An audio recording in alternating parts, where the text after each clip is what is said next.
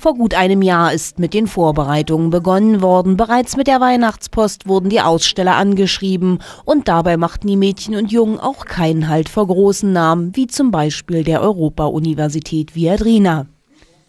Natürlich erstmal mutig sein, selbstbewusst rangehen. Und da es der fünfte Studieninformationstag ist, ist man natürlich schon bekannt.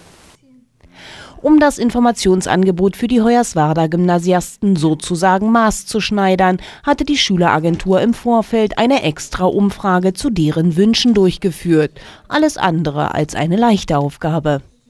Weil da waren so Berufe dabei, die kennt man gar nicht und dann muss man die auch noch ein bisschen ja, halt auswerten, dann kennt man sie nicht und das wird dann doch schon schwer auch wenn es die bereits fünfte Auflage der Studienmesse ist. Neuheiten sind auch in diesem Jahr wieder dazugekommen.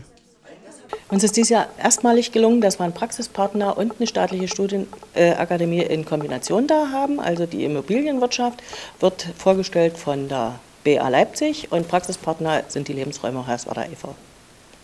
Was gibt es noch Neues? Kurzfristig hat sich IBM angemeldet. Das Tolle daran ist, dass das ein äh, ehemaliger Schüler vom Leon Foucault Gymnasium ist, der jetzt Wirtschaftsinformatik studiert und gerne IBM über einen Messestand und über einen Vortrag präsentieren möchte. Finde ich eine ganz tolle Sache. Nach der ganzen Vorbereitungszeit wird es jetzt ernst für die Agenturmitarbeiter. Dabei wird sich am Dienstag nicht nur zeigen, ob das Programm bei den Schülern gut ankommt, sondern auch, ob bei den Vorbereitungen für die Aussteller an alles gedacht wurde. Ja, also ich bin schon aufgeregt.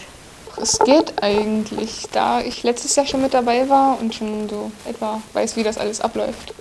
Ich bin natürlich sehr aufgeregt und hoffe einfach nur, dass es klappt und dass nichts schief geht.